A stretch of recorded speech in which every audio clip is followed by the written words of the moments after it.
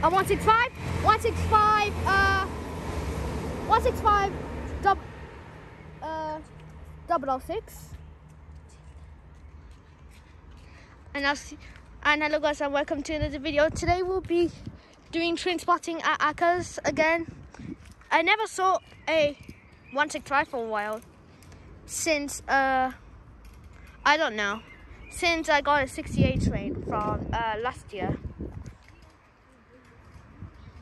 Uh, and I'll see you when our next um, our next train passes. Okay, there's actually a canal coming. Uh, it's coming from there instead of just from this side.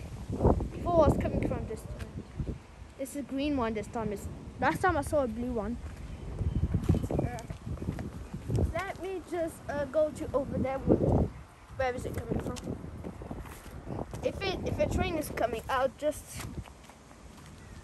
I would just uh, be quiet.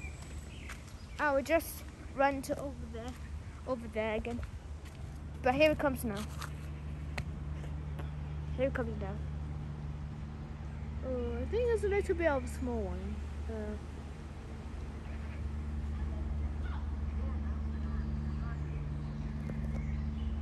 say hi to this. Uh, let me just hold my camera. I'll just hold my camera like this. Oh no, it's 10 percent.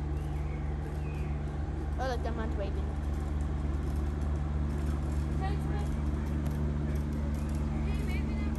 The man with the canal.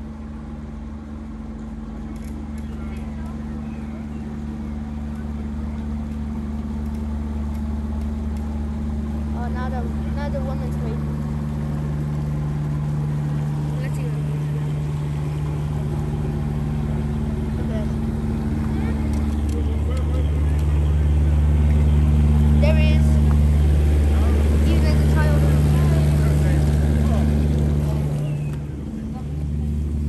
Ah, This way.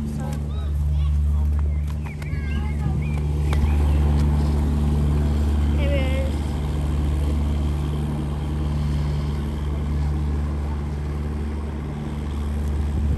Ah, funny.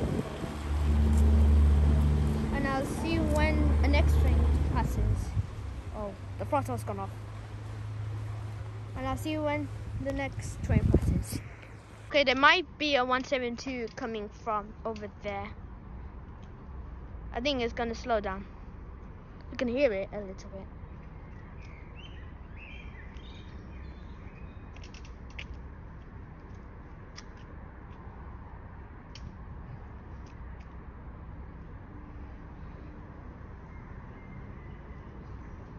You can hear the engine. Let's just go to the time lapse version of this train coming. Coming. Okay, I've stopped the time lapse version and here comes the 172. It's it's the West Midlands Railway. 172